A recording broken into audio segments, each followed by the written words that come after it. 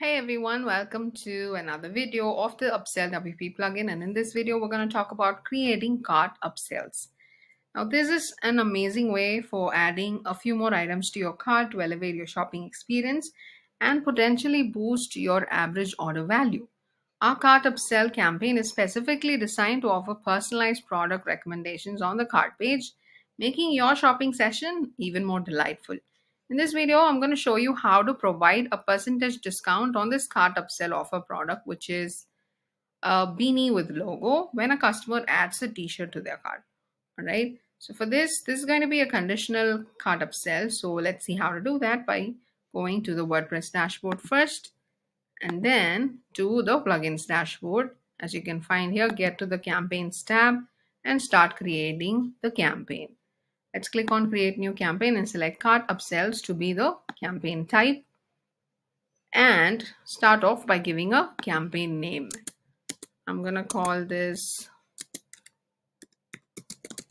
cart upsells sample. Next comes the offer section. The first one you can see in the offer section is the display location at cart page. You can choose where exactly this particular cart upsell should appear either at the top of the cart page or before cart items table or after etc. I will go for the default one. Next comes the display method. This applies when you have multiple upsell offers added to the same campaign. Right now I'm just going to create one but please know that you can create up to five upsell offers in a single campaign. Interesting isn't it? Now let's see how to add an offer product. This is the upsell product that we're going to display on the cart page.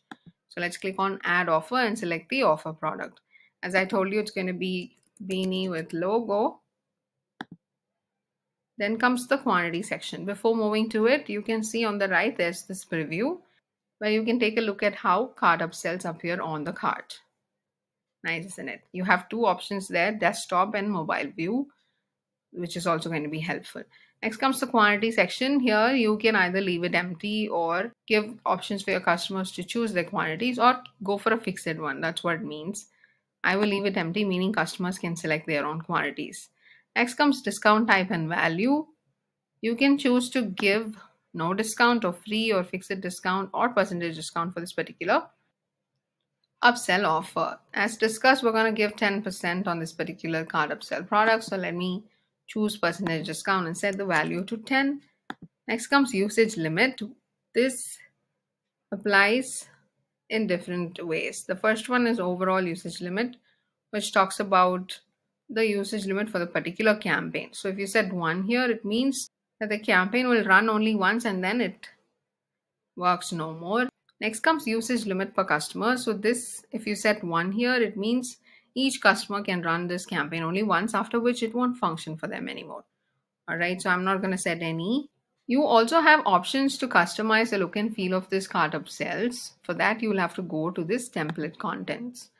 And here you have offer title. You can edit it as you want. Here are some shortcodes that you have to keep so that the particular value is retrieved. You can see 10% shown here because of the shortcode. Otherwise you can edit whatever you want Next comes offer CTA text. You can also go for something like grab this offer. Something like that. And then you can also change the product image. For more customization options, you could go for template styling and change the template. Right now it looks like this. Let's click on change template and see what we have. We have something like this, this, and this uh, kind of like this one. So let me select that template. Then comes custom styling. You can also style this particular uh, look and feel by clicking on enable and changing whatever you want. Let me go for slightly greenish one here. Great. Now let's save this particular setting so that the settings are reflected properly. Likewise, you could add up to five upsell offers in a single campaign. Now in the beginning of the video, I said we're going to offer 10% off on this particular upsell product if customers add a t-shirt. So this is a conditional upselling. In this case, we'll have to click on add condition and make sure that this particular cart upsell is presented to customers only if they purchase a t-shirt. For this, let me click on choose a condition and from the drop down, you can select whatever is suitable for you. In this case, I'm going to select products in the cart and the product that must be present in the cart in order for uh, this cart upsell to appear is going to be t-shirt with logo. Now let's save. You can notice the condition set here. Rest of the things are uh, just the same.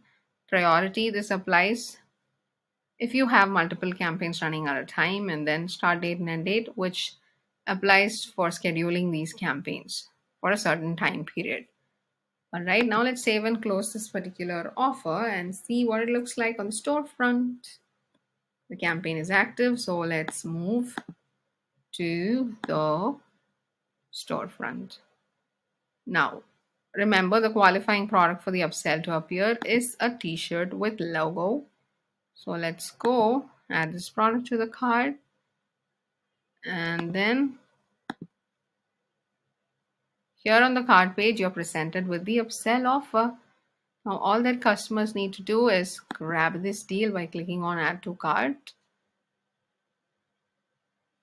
And you will notice that the upsell product is added to the cart with a 10% off. And this is how it works. Don't miss out on this wonderful opportunity. Get the Upsell WP plugin today and start creating personalized cart upsells for your valued customers. Thank you so much for watching. Happy upselling.